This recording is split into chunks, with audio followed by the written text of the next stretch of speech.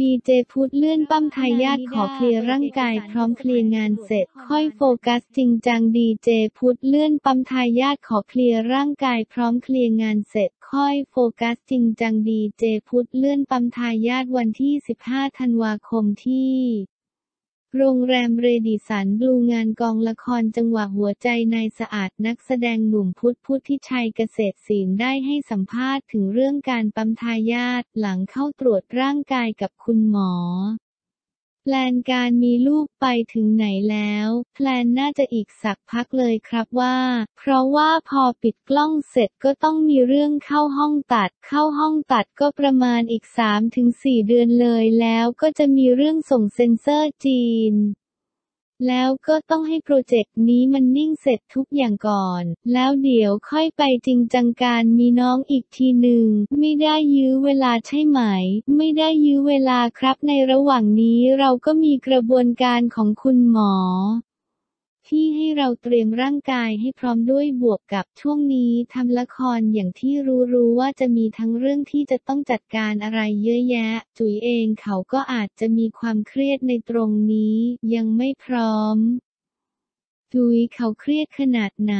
จริงๆ เขาอาจจะเครียดโดยที่เขาไม่รู้ตัว จริง ๆ เขาอาจจะบอกเราว่าเขาไม่ได้เครียดอะไร แต่ว่าความรู้สึกบางทีคนเรามันเครียดโดยไม่รู้ตัว ก็รอให้ทุกอย่างมันสบายๆให้งาน ทีนี้มันเสร็จอย่างสมบูรณ์แบบก่อน แล้วเรื่องจะมีน้องค่อยโฟกัสกันแบบจริงจัง ชื่อเรื่องดูดวงไหมถ้าเกิดมีลูกปีน่าจะดีไหม ตอนแรกก็เชื่อ ตอนหลังคือไม่เป็นไรละเมื่อไหร่ที่เขามานั่นแหละ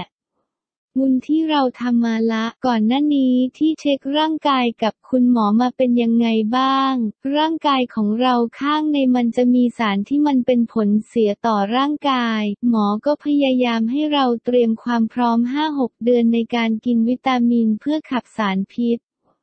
สารตะกั่วสารหนูอะไรที่สะสมมาแล้วไม่เป็นผลดีต่อร่างกาย คือของพวกนี้มันไม่สามารถแบบเดือนเดียวแล้วร่างกายมันดีได้เลย ก็ไปหาคุณหมอครับ เกิดจากสาเหตุอะไรที่มันมีสารตกค้างในร่างกาย ด้วยการใช้ชีวิตของเราด้วยแหละ ช่วงที่เราวิ่งเยอะออกกำลังกายมากเกินไปวิ่ง 100 โลอย่างนี้ คุณหมอก็ไม่แนะนำเหมือนเราใช้ร่างกายจนหนักเกินไป บอกให้ถอยออกมาเหมือนวิ่งออกกำลังกาย สุขภาพ 10 กิโลไม่เกิน 20 กิโลร่างกายที่มันแข็งแรงด้วยแรกแรกเราก็ไม่รู้ตะบี้ตะบันไปสุขของเราอเนอะแล้วพอสุดท้ายมาตรวจครับ มันก็มีบางสิ่งบางอย่างที่ไม่แข็งแรง ไม่ต้องถอยในเรื่องการวิ่งมาราธอนต่างๆ ช่วงนี้ด้วยสถานการณ์โควิดมัน มันไม่มีรายการไหนที่เราสามารถเดินทางไปวิ่งได้ที่ต่างประเทศก็มีแคนเซิลไปหลายที่ ก็เลยถอยมาวิ่ง 10 กิโลตอนนี้เยอะสุดในชีวิต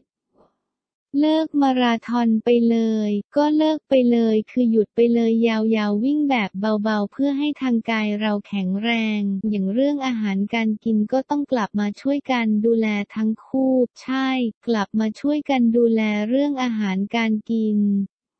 พยายามเลือกกินอาหารที่มันมีประโยชน์ต่อร่างกาย ได้มากที่สุดมันอาจจะไม่ได้ดีที่สุดร้อยเปอร์เซนต์แต่ก็พยายามทำตามที่คุณหมอแนะนำพยายามแค่ไหน คุณสีพันรยาลงมือลงเข้าครัวด้วยตัวเอง ไม่ถึงขั้นลงครัวเอง